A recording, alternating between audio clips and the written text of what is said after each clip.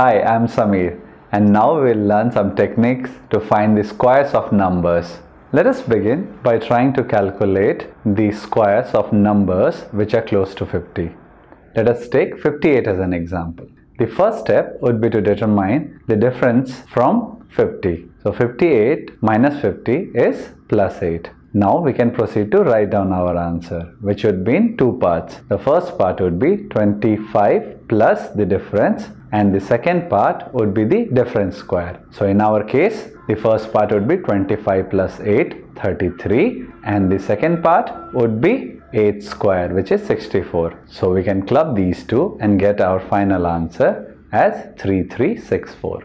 Let us take 44 as an example now. Let us begin by trying to find the difference. 44 minus 50 would be minus 6. Now we can proceed to write down our answer which would be in two parts. The first part would be 25 plus minus 6 giving us 19 and the second part would be the square of difference which in our case is minus 6 square 36. Clubbing these two we'll get our final answer as 1936.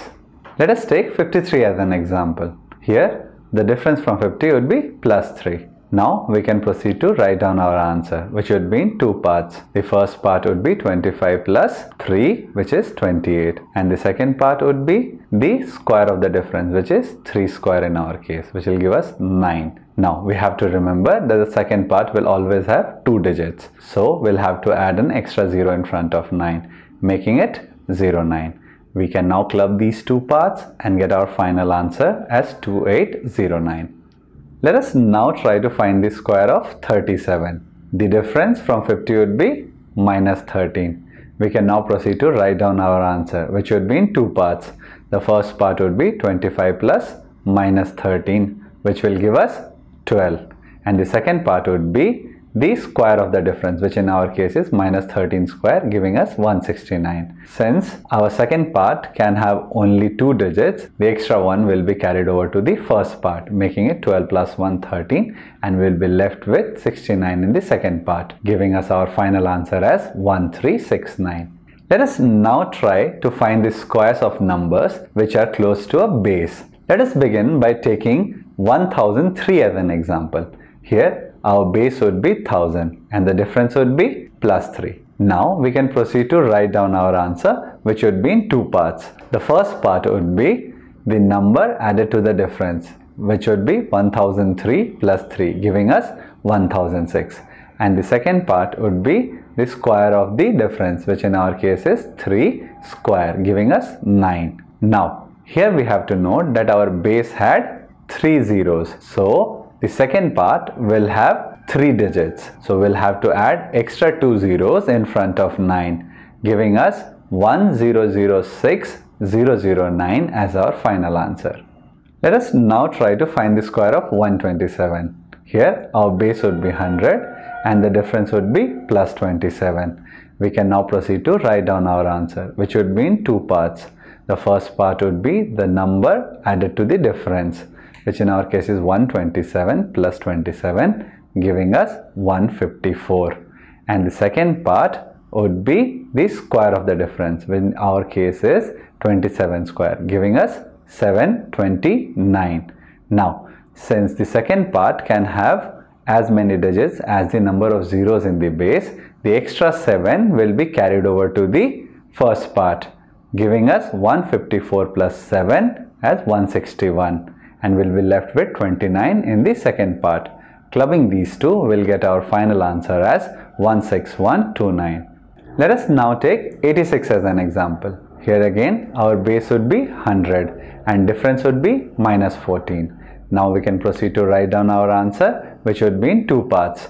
The first part would be the number added to the difference which in our case is 86 plus minus 14 which will give us 72 and the second part would be the square of the difference which in our case is minus 14 square giving us 196 again the second part cannot have more digits than the number of zeros in our base which in our case is 2 so the extra one will be carried to the first part making it 72 plus 1 73 and we'll be left with 96 in the second part giving us our final answer as 7396. Let us now try to find the squares of numbers which are close to multiples of the base. Let us begin by taking 207 as an example. Here our working base would be 2 into 100 with multiplier as 2 and the difference would be plus 7. We can now proceed to write down our answer which would be in two parts. The first part would be the number added to the difference which gives us 207 plus 7 214 since our multiplier is 2 we'll have to multiply 214 with 2 to get 428 and the second part would be the square of the difference which in our case is 7 square giving us 49 so we can club these two and get our final answer as 42849 let us now try to find the square of 397 here our working base would be 4 into 100 with 4 as our multiplier and the difference would be minus 3. Now we can proceed to write down our answer which would be in two parts. The first part would be number added to the difference which in our case is 397 plus minus 3 giving us 394. Now since our multiplier is 4 we'll have to multiply 394 with 4 which is equivalent to saying 4 into 400 minus 6 giving us 1600 minus 24 1576 as the answer in the first part. And the second part would be the square of 3 giving us 9 now since we have two zeros in our working base we'll have to have two digits in the second part so we'll have to add an extra zero to the 9 making it 0 09 now we can club these two parts and get our final answer as 157609.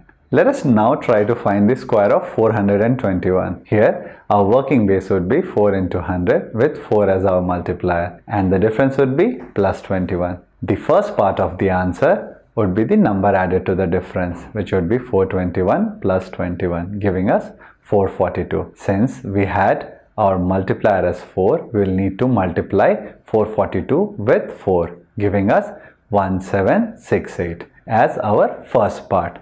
The second part would be the square of the difference which would be 21 square giving us 441. Since the number of zeros in our working base is 2, we'll have only 2 digits in the second part. Therefore, the extra 4 will be carried over to the first part making it 1768 plus 4 1772 and we'll be left with 41 in the second part. Now clubbing these two, we'll get our final answer as 177241. This is it for now. Lots of new stuff coming your way. Stay tuned.